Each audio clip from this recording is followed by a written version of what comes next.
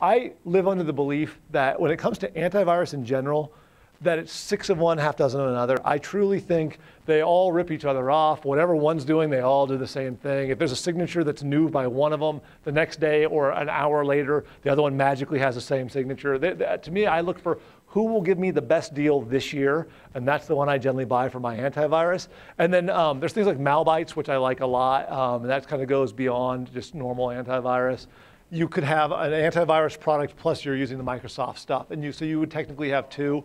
But you wouldn't want to have like Norton and have McAfee and have Kaspersky and have WebRoot. You know, you know, your computer would be so slow you'd never be able to do anything. You know, you, you pick your horse and kind of go with it. Um, I, I, for a while, I was really into Kaspersky. I think they do some really neat stuff just because they're really into research and they find a lot of stuff before anybody else. Uh, I think right now I use WebRoot today because they offered me a really good deal. And uh, again, I, am I'm, I'm about the deal. I, I think at the end of the day, um, it's rare that they detect the stuff anyway. They're, they're going to detect stuff that's been around. That's, that's what they're good for. They're good for detecting things that have been out there for a while and you happen to stumble upon it.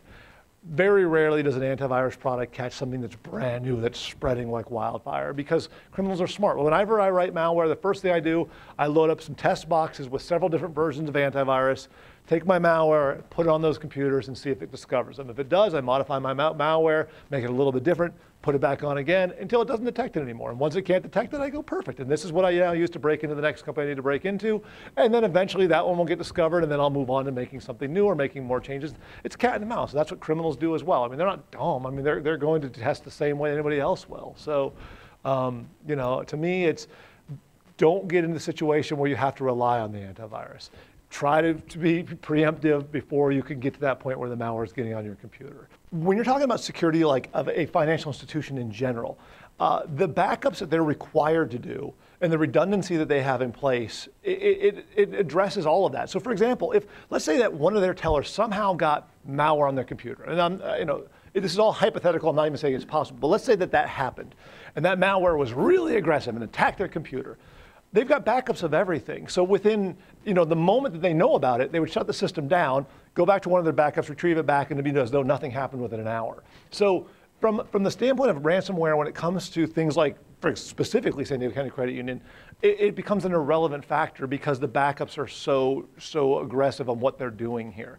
Um, and in fact, it kind of leads me to wonder what's going on, especially with some of the hospitals, because I would have just assumed that they would have the same type of security when it co comes to backups. But you can read online, just type in hospitals, um, hospital and ransomware, and you'll see a number of hospitals that are paying the ransomware and admitting publicly that they're paying the ransomware, which means they're not doing backups.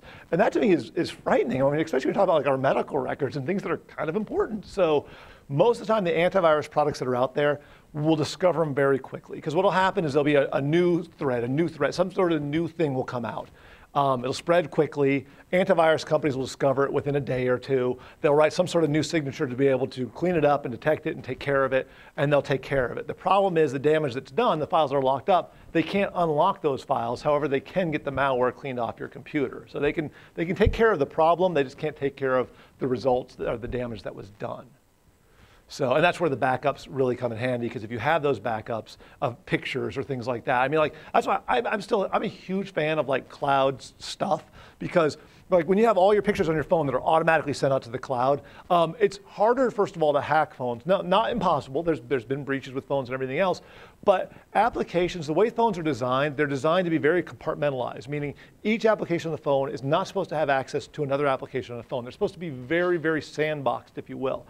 There have been issues like anything else, but far fewer, as opposed to a laptop. On a laptop, it's a free for all. If I get malware on your laptop, I can monitor everything you type, I can watch everything you do, I can record your screen, I, I, I own you. Your computer, anything you do, I can do and I can watch. On your phone, it's not that simple. There's so many more steps that are required. Um, download whatever the organization is, I guarantee you they have apps. Yeah, like, so no matter what it is, whether it's here, download their app. If you're using their apps, you can feel far, far more secure about what you're doing. It's just, it's, to me, it's a way better way, to, especially for online banking. There's programs out there that are designed specifically, and it happens for both uh, Macs and PCs, that can actually take and set your, uh, your entire computer back several days from the load it was at to a previous load earlier. So if you know one day you got the thing, because maybe you, you browse and you did something, and afterwards you go, I should have not have done that. And then sure enough, you get some sort of malware. You can then kind of basically do a jump back in time to two days earlier and set it back to that point in time. And yeah, those things work most of the time. And I say most of the time because there's, it depends on the. I mean, some of these malware is really incredible, and some of them do things like they'll go into the BIOS on the computer, and they'll go into things that that, the, that has nothing to do anymore with the software itself. It's now in the actual hardware of the computer, and then that's an entirely different level of mess. There's a million ways to do back. There's pro- programs called like uh, Carbonite, which basically is just continually backing up your computer, and it just goes out to the internet, you know, the magic cloud, and it just keeps monitoring and recording everything that's, that, anytime you put something new on, it records it automatically out somewhere else and as a backup. Um, what you're really concerned about, what the, the best advice for something that if you just want to make it really simple, go to Target, you buy a little flash drive. So you got the little drive in your hand, stick it in the USB port on your computer. If you have pictures that are important to you on your computer, select the pictures you want, drag them over to that file, hit copy or, or paste or you know, depending on how you're doing it, and put them on that flash drive, take that flash drive, and now you've just made a backup. And that's, that makes it really simple. Don't worry about, you're not trying to back up like every little nuance on your computer. Back up the stuff that's important to you. Most of the time it's pictures. Sometimes it's also documents. If you're a writer, maybe it's, you know, uh, like I've done books, you know, I, I back up a million times chapters and stuff because there's nothing worse than if you lost all of that time that you spent typing stuff. So it's, it's what's important to you is the files you want to copy onto some sort of external device that you have separated out. And if it's really important, then you wouldn't want to store it at home because if you get robbed, it might just get stolen with everything else. So you put it in a safety deposit box or you know whatever, just depending on how important it is or what it is.